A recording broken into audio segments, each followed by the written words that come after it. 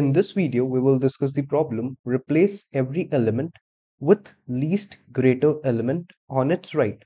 So the problem says that we'll be given an array which will consist of n integers and we have to replace every element with the least greater element on its right side in the array.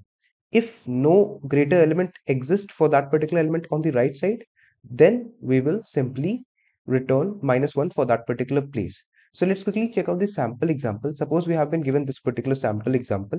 So if we'll consider the second sample example that has been given. So in this particular example, we can see that we have been given the array ARR as 2, then 6, then we have been given 9, then we have been given 1, and we have been given 3, then we have been given 2. So we can simply observe that if we look, uh, if we look for 2, so what is the smaller element? Uh, what is the least element that is greater than 2 so i can say that 3 so i will write 3 here. Right. Then if i look for 6 so for towards the right side for 6 which is the element that is uh, least and it is greater than 6 so we can simply say that that element is 9 then if i look for 9 then we can say that there is no element uh, towards the right side of 9 that is greater than uh, just uh, greater than 9 so i can write minus 1 for 1 what is the element that is uh, just greater. So 3 is also greater, 2 is also greater, but we can simply say that the element that is greater for 1 is nothing but 2 because uh, we are finding the least greater element, right? After this, for 3, we can say that the answer will be minus 1 because there is no greater element towards the right side. And for 2 also, the answer would be nothing but minus 1, right? Answer array would be 3, 9, minus 1, 2, minus 1, and minus 1, right? That is what we can see here. 3, 9, minus 1, 2, minus 1 and minus 1. Now, how can we do this particular problem? So for doing this particular problem in uh, both the languages that in that is in C++ and Java, we can use a data structure that is known as the set data structure, right? We can use set data structure in C++ and we can use a tree set data structure in Java, right? So what we can do here is, first of all, we can simply declare a set like we can have a set and you know that in set we have only unique elements right? So what we can do is we can start iterating the array from the back right from here. And what we will do is first of all we'll insert this particular element into the array. So we'll insert 2 into the array right uh, into the set. So we'll insert the current element that is 2 into the set. After inserting 2 into into the set what we will do is we'll perform an upper bound function right? We'll write a upper bound function on the set for the current element RFI. Now, what does this mean? When we apply the upper bound function in this particular set, so upper bound function will give the if we are passing this particular element, that is, we are if we are passing the current element uh, in this upper bound function. Uh, so, what will uh, this particular function do? So, the this upper bound function will give the least element right the least element right will return if inside the set it will check and it will return the least element that is greater than it will return the least element that is greater than the given element array of i okay? And that is what we want. So what we will basically uh, get here is if we will check for 2 so we can basically say that for 2 there is no element that is greater than 2 right? So in that case the set uh, this upper bound function will return nothing but minus 1 if there is no such function. And similarly inside our uh, inside java also we have the tree set. So in that we can use the higher function right? There is a function that is named as higher. We'll be looking into the code as well. So that will uh, that will simply return null if there is no element that is just greater than the given element right? That is passed in the parameters.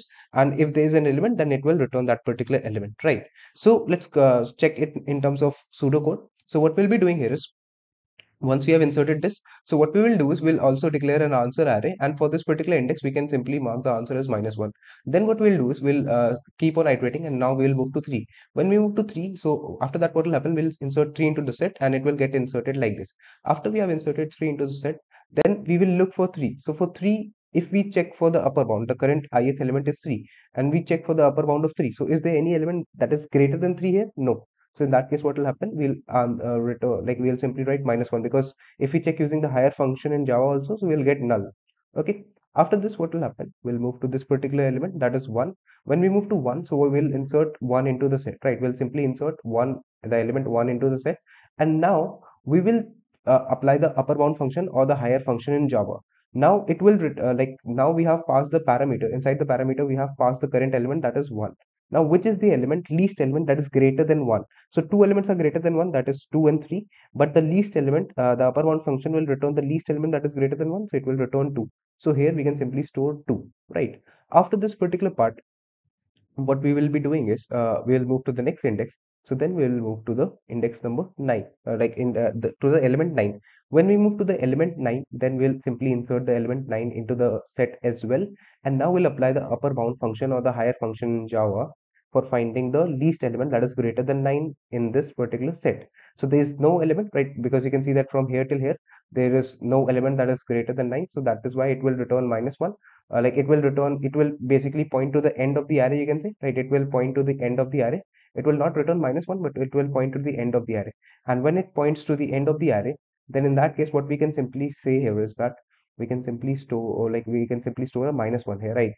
Okay because if we apply the upper bound function right if we apply the upper bound function and if the upper bound function uh, for a particular ith element if it does not find any element that is greater than the, uh, the, the element that we have passed in that case it will simply return set dot end in c++ right? And in the when we apply the higher function in java similarly for the particular ith element then it will return on null indicating that that particular element does not uh, like there is no element that is greater than array of i that exists right so once this has been done right once this part has been done so what we uh, can simply say is that we'll move to the next index. So when we move to 6, so we'll move to 6 and now we'll insert 6 into the set. So 6 is inserted here and 9 is here, right?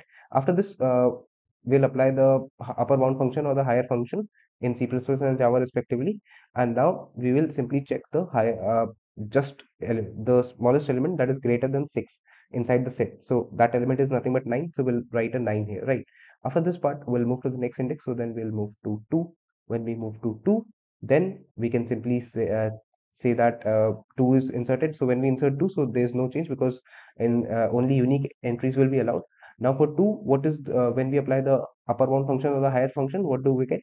We get this just uh, greater element right? So the just greater element is nothing but 3 so we'll get the index of this particular element and we can retrieve it.